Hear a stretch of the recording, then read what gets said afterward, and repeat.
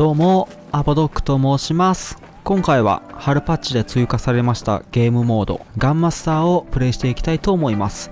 このモードはバトルフィールド3の時にもあったんですけれども、簡単にルールを説明すると、決められた武器で決められたキル数を稼ぐというものになっております。今回ですと、最初の武器は F2000、そして次の武器が左に書いてあります DAO になってますね。で、このモードは2キルしていくごとにゲームモードじゃないレベルが上がっていってこのように武器が変わっていきます。で次は DAO で2キルすると左に書いてあります。M60 に変わるということになってます。よいしょーってこんな感じでいきなり武器が変わったりするのでこれちょっと気をつけた方がいいですね。ショットガンからいきなりマシンガンに変わるというのは結構立ち回り変わりますのでむしろマシンガンで撃ってたのにいきなりショットガンになるっていうのが一番危険ですね。マシンガンの次はスナイパーライフル。いつも使わない武器を使うことになるので武器の特性とかよく分からず戦うことになりますよね。これなかなか難しいんですよね。当たらないし。スナイパー使わない人だっていますよねきっと。こういうの絶望的ですよね。アサルターしかやってないのにスナイパー使わされてるって。もういじめですよこれは。けどもいつも使わない普段使わない武器を使えるってのも楽しいかもしれないですけどね。でこいつは何やってんだ？この木箱に隠れて。敵から集中砲火浴びさせられてるのに。助けを求めても誰も来ないっていうのね。ちょっとリードしつつ敵が来るが後ろから狙っても当てられない。いつものことそしてこういうのは当てられるまぐれ。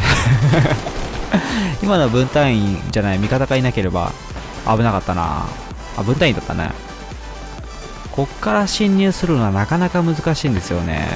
味方を通りにして安全を確かめる。危険だと判断して壁に隠れ味方を先行させつつ後ろから飛び込むが手遅れだったと。ここどうやって潜入侵入すればいいんですかね。絶対見張られてますもんねいつも。うーん結構追い込まれてますね。裏取り成功したけど。会社のところに結構いるのかな。後ろにいた。で次は SR2 か。SR2 は結構いいね。使いやすいんですよね。これ扱いやすい。このモードだとアイアンサイトのままか。なかなかアイアンサイトは使いづらくて。嫌いなんですけれども。これちょっと見やすいな。ここも飛び込みたくないところベスト3ですよね。味方が飛び込んでから後ろからいいとこ取りをする場所。階段からも狙われるし左からも狙われるしこうやって突撃もされる。もうダメですよここいちゃ撃ちまくっている人がいれば横からいきなり飛び出して撃つと。ああいう時はまっすぐしか打ってないのでこんな風に今打ってるみたいにもう前しか興味がないので横からいきなり飛び出してきても対応できないのが多いんですよね。なのでカモにしちゃいましょう。AWS は前を撃てば敵を殺せるので適当に撃っちゃえば OK です。こんな風に。本当強い武器なんでなんか修正かかったような気がするんですけどもそれでもまだ強い気がしますよね。そして唐突に敵が現れてセミオートにびっくりするバカ。ちゃんと次の武器は何かを把握しておかないとこういう痛い目見るので気をつけてくださいね。今ですと次は拳銃なので拳銃ってマシンガンじゃないセミオートのライフルからいきなり拳銃に変わるのは卑怯ですよ。卑怯だ。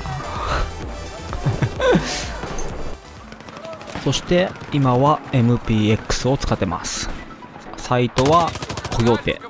コヨーテを使っているから敵をバッタバッタ殺せると。バッタバッタ誰だ今殺したのは俺の獲物。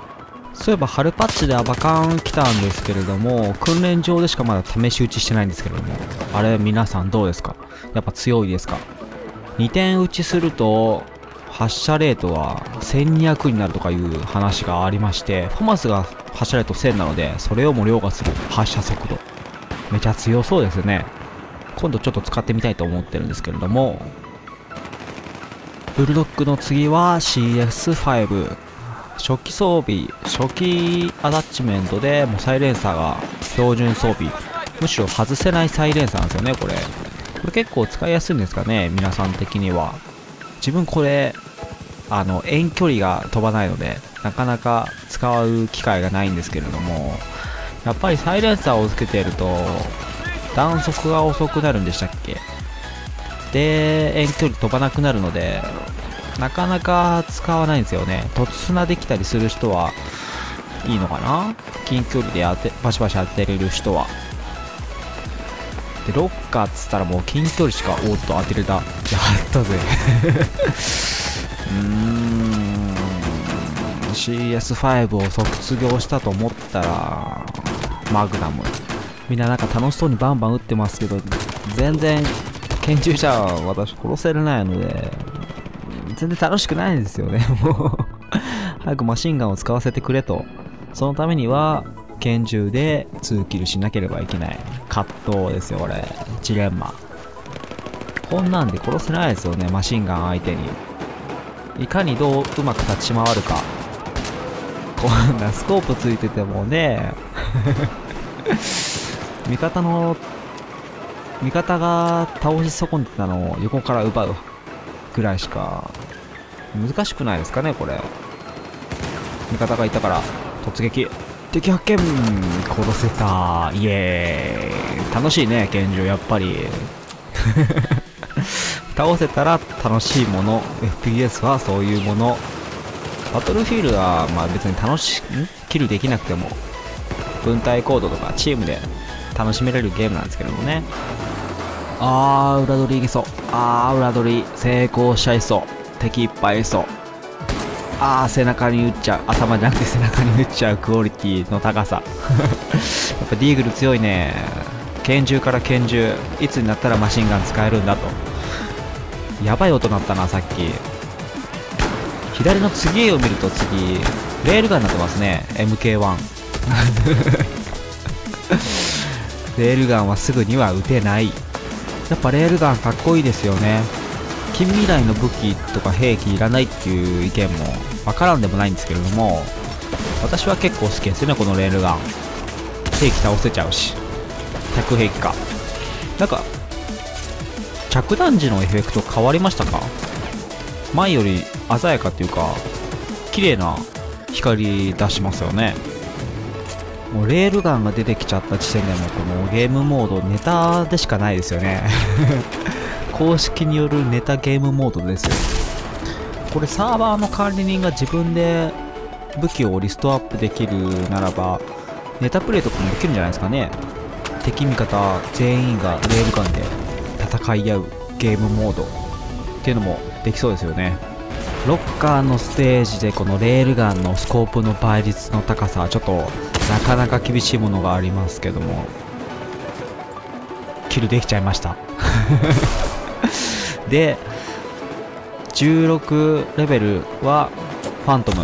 めっちゃ飛んだなこのファントムが終わったら次は最終武器つららつららってなんだよ。